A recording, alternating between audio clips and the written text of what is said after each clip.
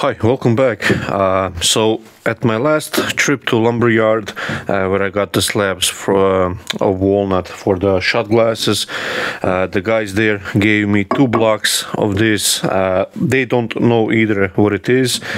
Uh, I don't have a clue what it could be. Maybe Iroko, something like that, in that um, nature.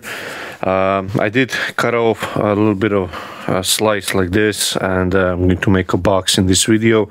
Um, but also to, to see uh, once I cleaned and oiled it uh, maybe I have a little bit better idea what it is. So um, like I said I think it's uh, Iroko but not quite sure. And uh, it has a nice distinguished discoloration. Oh it's like almost perfectly in half so it should be quite nice a little box so. Okay so I have a bigger jaws here and this just goes in like so for now and just trying to see to get it back to original position although I have actually here um, for a tailstock I can align it that way I think you saw what's missing in the previous shot. I forgot to put the banjo on the lathe. Um, I was doing um, for a thumbnail uh, a few pictures and uh, forgot to put the uh, tailstock in, uh, the banjo, sorry. Uh, one inch skew, I'm just going to screw it up again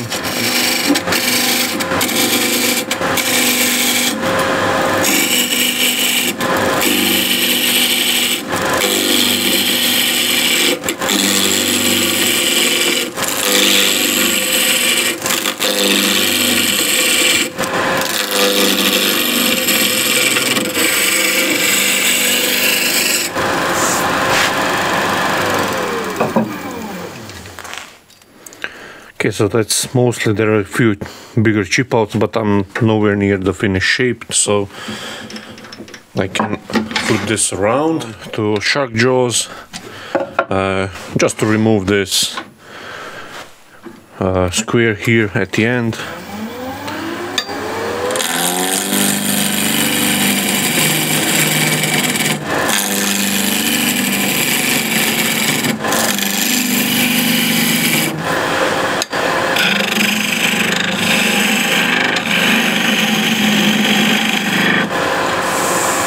Okay, that actually doesn't feel that bad. Maybe it was just the weird grain on this end. Yeah, that's actually pretty good. So you can see a little bit better now how the grain looks. And uh, now what I'll do is make a... Actually, I'll chew this up first.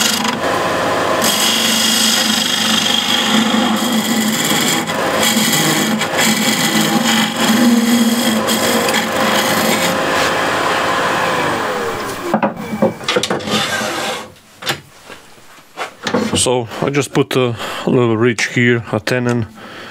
Um, that way I can flip it one more time and position it up to that tenon, that shoulder. Yeah, that's pretty close and now I'll just uh, chew it up one more time and uh, that will be for the final shape.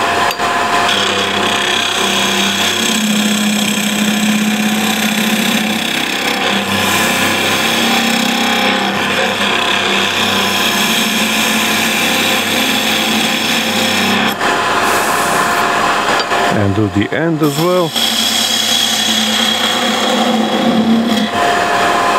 Uh, now before I start to part anything off, uh, what I'm going to do is put a little tenon here.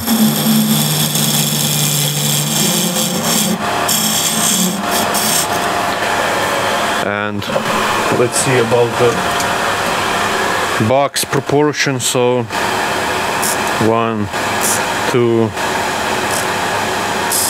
three, let's say. I think that will be okay proportionally. And uh, we need a bigger flange for a pop fit. So here, so yeah, I think we'll part here and the lid will be somewhere around here. Now I don't have any narrower um, parting tool um, but it's quite close uh, straight grain and uh, discoloration is actually quite uh, even as well. So I don't think that that will be um, like much of the um, misalignment of the of the grain so.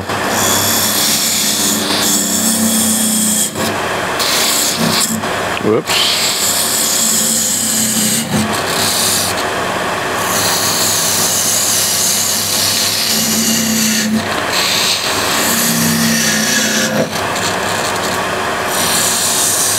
for this parting tool I have to make a little bit more of a relief cut.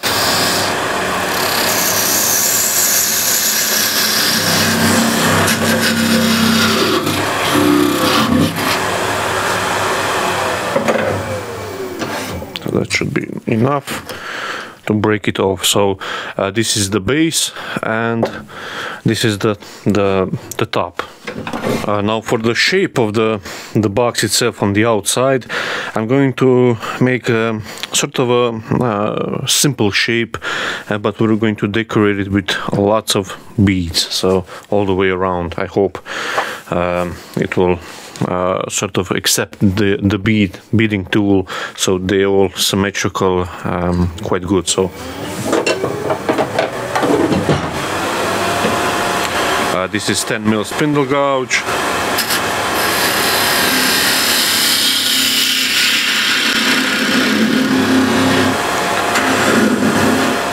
actually I'll make a little hole here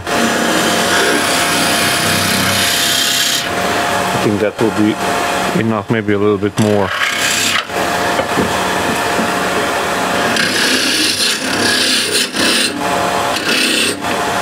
So that's rough opening and now with the square and scraper I'll just make the flange. Uh, but I have to leave myself enough room or thickness on the outside to accept the beads. So this is the square and scraper and you have to bring the rest up. So only this corner will have the contact with the wood not, not uh, the bottom one. Because if the bottom one will be in contact then it will uh, push the scraper away from the uh, the line that you want to go so and I want a fairly long flange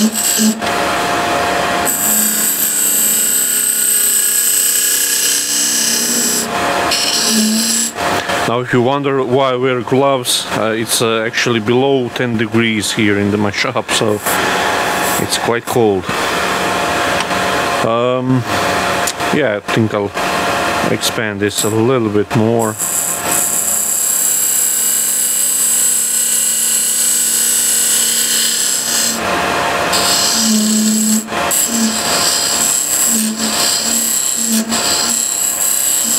and at this point I want this flange to be parallel perfectly par parallel or just slightly dovetail. So the opening here is just a, a smidge smaller uh, than the back of the flange. And the way I check it I don't have the calipers that expand.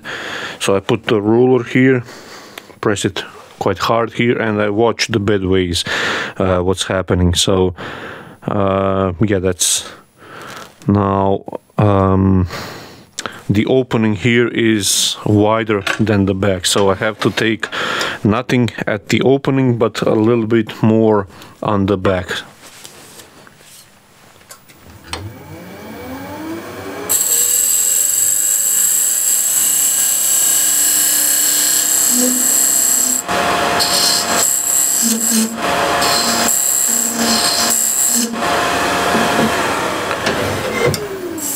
if you get this step right then it's actually quite easy uh, to get nice suction pop fit. So again place the ruler and uh, by the look of it that's almost perfect. So I'll leave it as it is.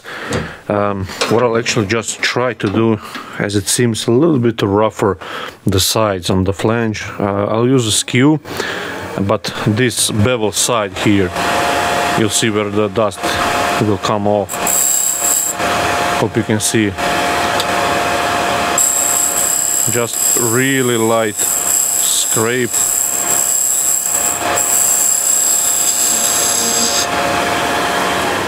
See if that's a little bit better surface. So I don't have to sand as much. Now the opening is okay but the back side is a little bit rougher so this will be a quick little box. I know a lot of turners especially the beginners like to turn boxes and uh, I like to turn boxes as well so. And uh, now I have to do uh, something with the bottom here. So I have a um, asymmetric curved scraper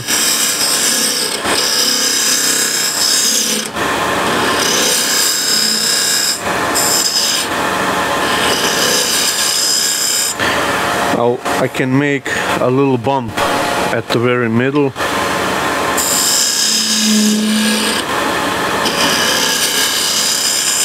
To make it look as a decoration as well so.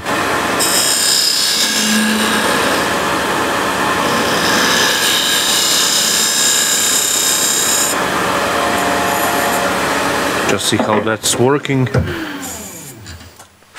Feels okay and it is okay so so I can uh, just do a little bit of sanding on the uh, on the inside polish that and uh, then we can uh, do the outside.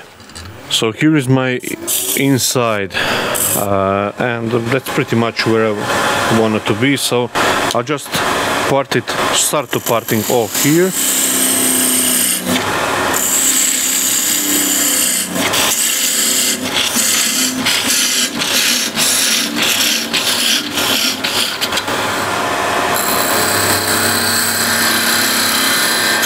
just do a little cleanup here. Um, yeah I can sand the, the inside and we'll do the final shape on the outside after. So now for the finish I'm going to use this uh, Clapham's beeswax salad bowl finish and uh, I started to really like this product and uh, it's so easy to to apply. It's natural and you can apply it with your hands so it's quite nice. And uh, just buff it in with a paper towel. I might even put the the the wax on top as well just to seal it in so it's not tacky. And I think I'll do that as well. So just push a little bit of wax inside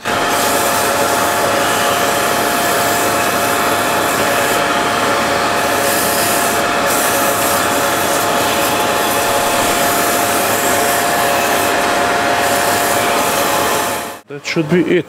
Let's see how it looks. Yeah that's really super nice. I'm happy with that. Um, so I can part this off entirely now.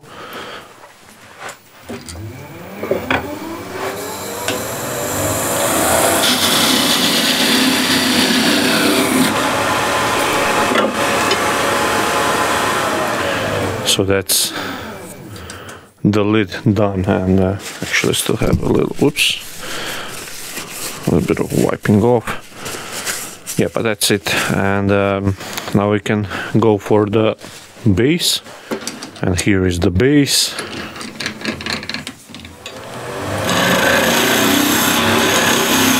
But I always like to make a little skim cut.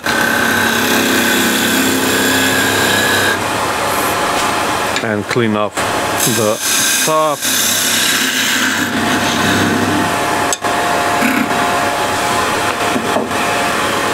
Now the first task is to make it, make the flange really nice and tight here. So I'll use a skew.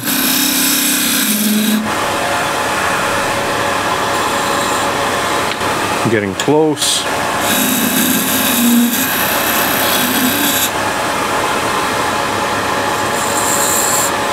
Almost there. Make another slight taper and that should be actually it. Yep. So not sure if you can see but at the very opening there is a slight burnish mark so that tells me that's where the perfect fit is. Just to see it one more time. Whoops that's actually I went a little bit over. It's not loose but it's actually spinning off so I still have a that amount of flange to go. So or I can make it a little bit wider like so.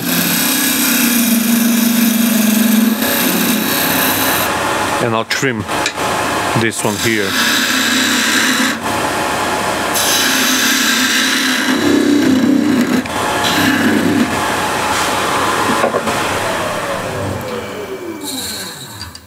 okay so that's now just barely fits over which is what we need.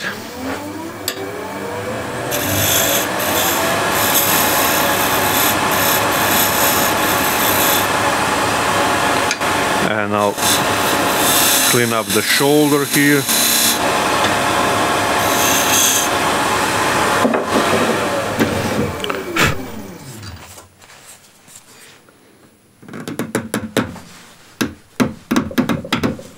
okay that's that's really nice tight fit which we want and I think I make, made a mistake oh okay it goes off so I thought it would be a little bit more hassle to remove it. Now you make this first um, so you don't um, go over when you hollow.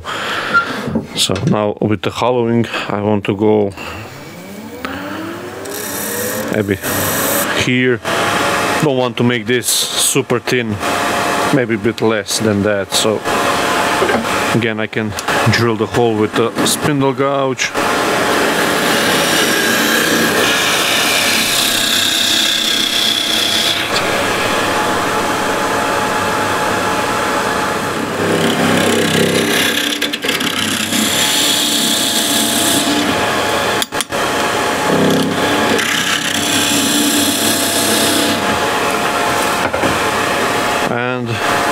I use the bigger spindle gouge to take the majority here out. You can use a square and scraper.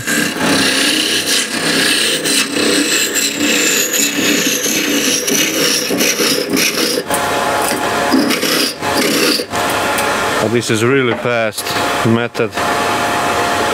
And uh, now with the square and scraper we just uh, make the the shape the inside what we want and uh, I'll go with uh, slightly narrowing narrower opening but then it gets wider as I go down so.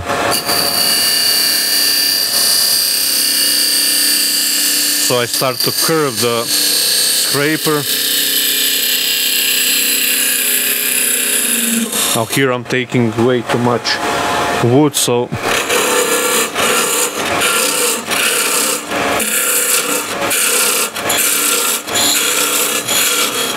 remove all the extra.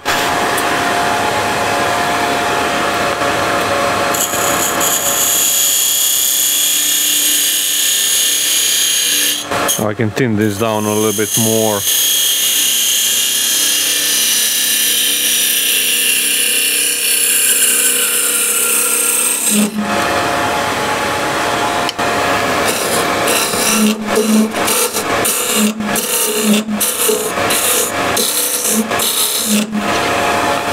Now my scraper, uh, now with sharpening, it's almost straight across and I want to change that and I'll drop the right wing uh, just a little bit more so it only cuts with this portion. Uh, now it's just taking uh, too much edge at the bottom where the end grain is.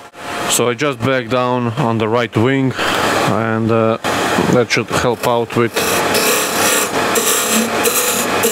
yeah it's much better. It doesn't put the entire edge of the scraper at once at the end grain so, I'm trying to find the bottom of that hole which is here and I'll drag the scraper across the end grain to get the most clean cut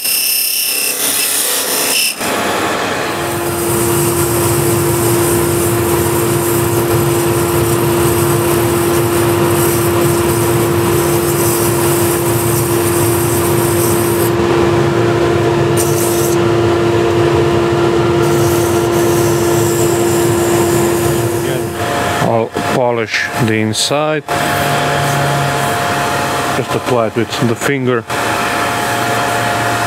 Spread it around, especially in the corner, just to see if I covered everything. Uh, yes, I have, which is good. And uh, just again polish this up a little bit and then I'll push the wax inside just to seal that in so it's not as tacky.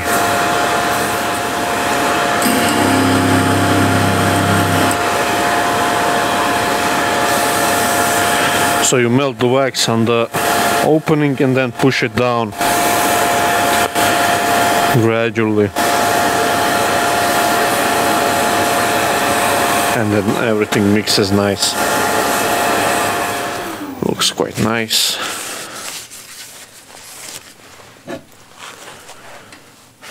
yeah that's pretty good so the lid can come on and uh, now we can shape the rest here the top at least and start with the beads and then uh, we'll reverse the base and finish the bottom of the base. Again, trusty one inch skew. I'll actually go like low peel.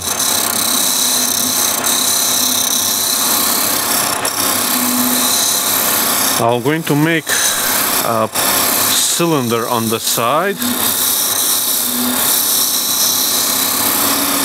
like so We'll clean the top here.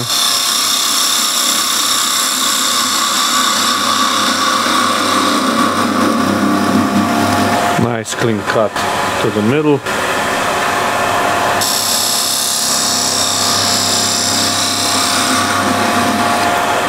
Okay, that's okay. And uh, I want a little round over here on the top and we'll do the same on the bottom. And uh, just to actually see if the grain aligns. And yeah I still have enough wood there. And just to check if I have for that round over on the bottom as well. So yeah it should be okay we'll see I guess. And I'll try to match the green just to see how it looks.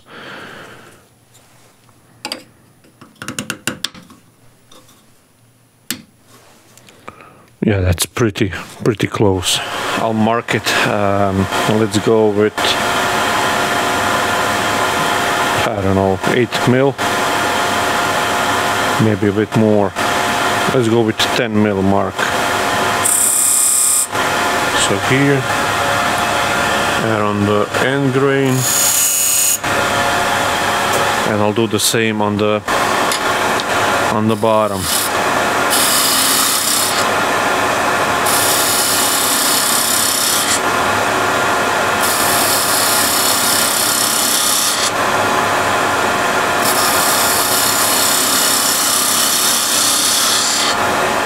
Just with a little bit of 180 I'll sand the top as well. Okay so now the fun part. So I have a beading tool that I made. Uh, this is the high-speed steel uh, bar for metal working lathes and uh, what I've done is uh, took the grinder the handheld grinder find the right disc and uh, just make the slots and sharpen them. You can see how they look violent on the underside. So yeah not sure how this will go but we'll see. Uh, I might want to leave a gap. Doesn't matter that it's a joint here uh, but I think I'm going to leave a straight on the middle here. And I think I need to drop the rest a little bit more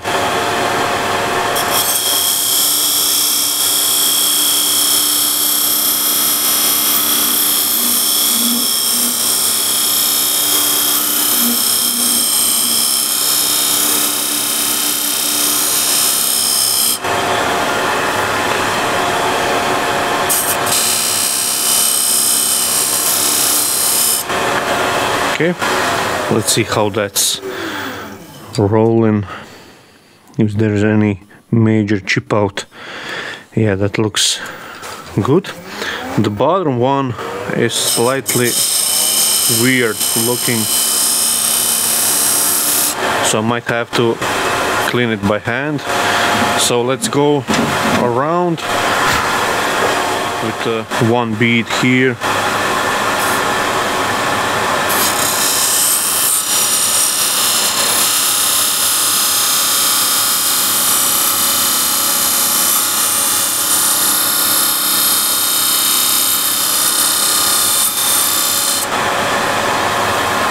okay that looks again nice. And we'll continue to the middle I hope.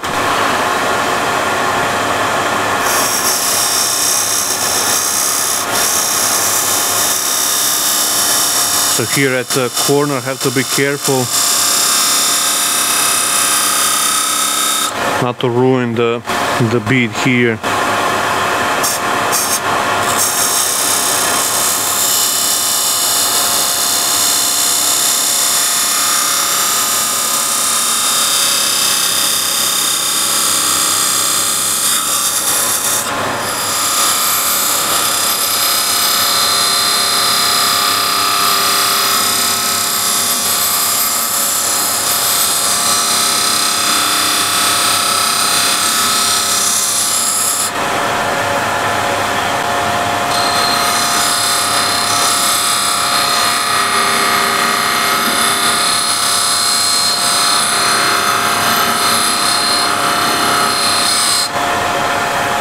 think that's actually quite good.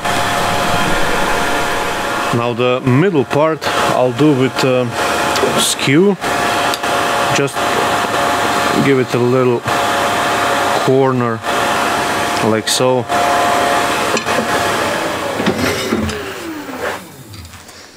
Yeah, I'm quite pleased with that. That takes this wood takes the uh, the beading tool quite nice. Uh, so I have a decision time. Uh, should I go with the beads all the way down or to leave something here uh, to be distinguished a little bit differently where the seam is. Um, start with the beads.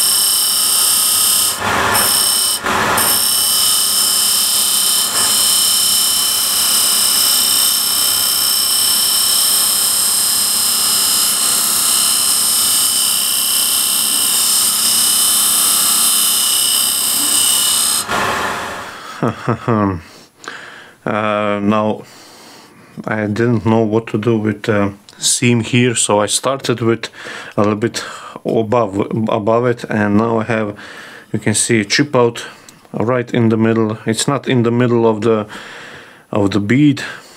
So what I can do is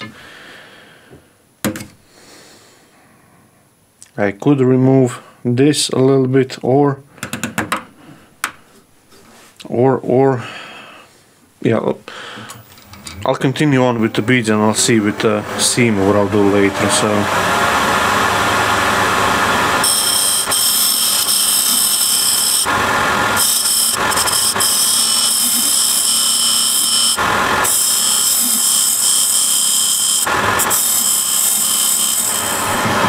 So again I don't know where the camera shut it off. Um, but I still have a little bit more here to remove.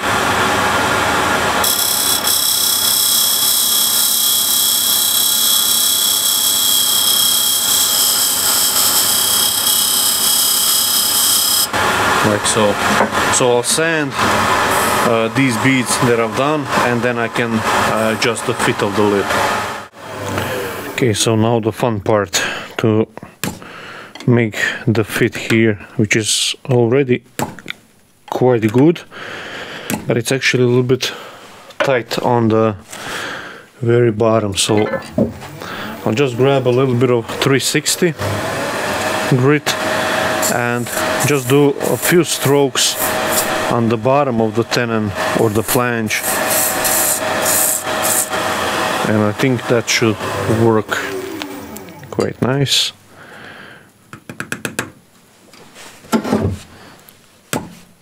the, the fit is quite good. Align the grain. Yeah, that's that's really good. So, okay, so I flip around and now all I have to do is bring this down to original diameter of the beads here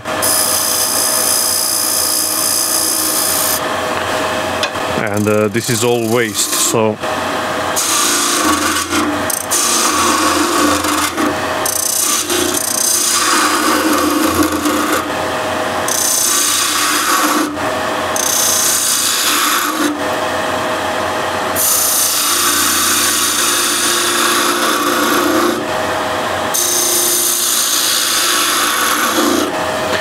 Uh, so for now that will work and again here I'll put 10 mil. And 10 mil here. And make a round over as well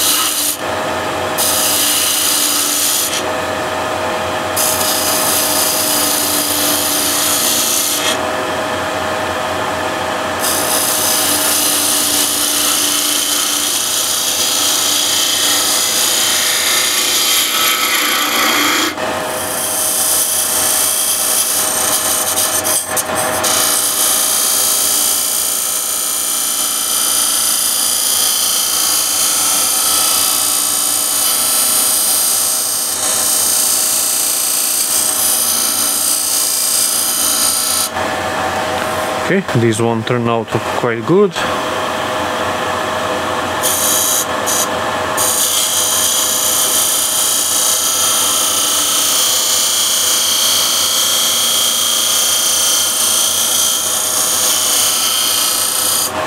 and here on the bottom I think I'll leave uh, this bead as a foot so yeah I think I'll do that so this is now okay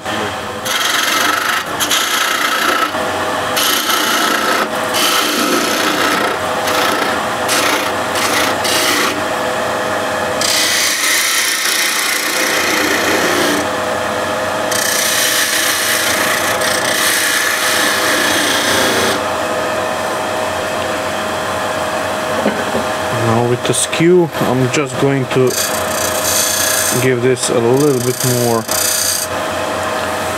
like a groove so it's nicely distinguished. So yeah I think that will now be okay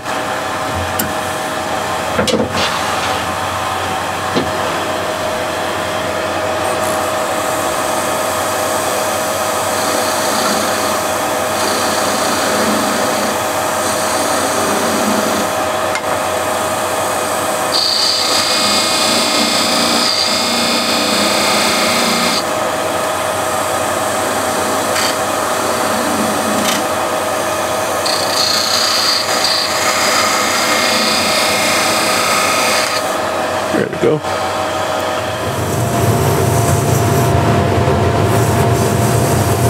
Nice. Inside, a little outside. Let me just put the focus on automatic so it doesn't blur off so we can see. And the lid. Just align the grain. It kind of looks neat, and as you can see, the the beads sort of disperse the overall grain, uh, but it does like show a little bit. As you can see, nice discoloration line between the darker and the lighter wood, and here is a little bit more obvious line, and a nice pop fit.